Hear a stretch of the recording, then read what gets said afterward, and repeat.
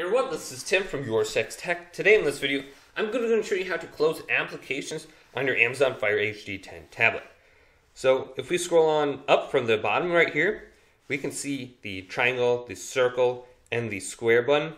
We want to press the square button right here, and we can scroll through our different applications. So this is everything that is currently open. So select the icon, then go to App Info, and you can go to Force Stop and you can close the application through this method here. Now, if you press this square button, you can also go to the application and you can just simply hold it down and then go up. And this will also close down the application. So you can go through this entire list really quick and just close everything down with, without going to the app info. Now, when I press this, I have no recent apps under here and everything is closed. So look through those two different methods and you should be good to go.